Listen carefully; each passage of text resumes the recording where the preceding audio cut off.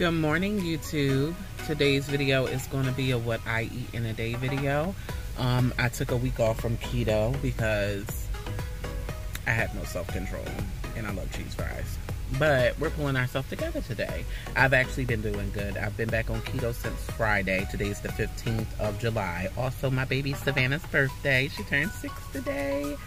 Um, so I meal prepped on Saturday and I am ready to get this work week started, honey. I got some good food that I'm to be eating this week because if it's not good, I'm not want to eat it. And I want to stay motivated. More than anything else, I want to be disciplined because motivation is very fleeting. But discipline is something that you can rely on to get you through um, to be able to make it to your goals. So let's try and be disciplined this week, Shay.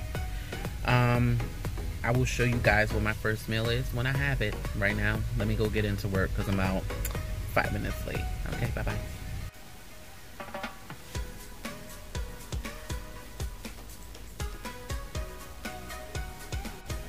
So today's first meal is some sauteed broccoli, beef kielbasa, and some keto-friendly Belgian waffles. It's about three quarters of a waffle.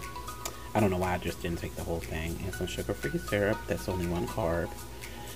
So this is going to be my first meal. I had the bulletproof coffee earlier. And it is now...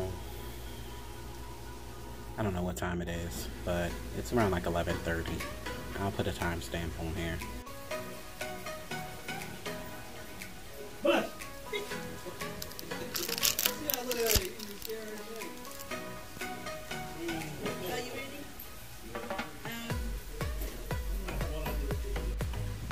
My final meal of the day is this uh, lettuce wrap burger. It has mayo, onions, extra pepper, ketchup, mustard, and cheese on it. Uh, this is actually my second one.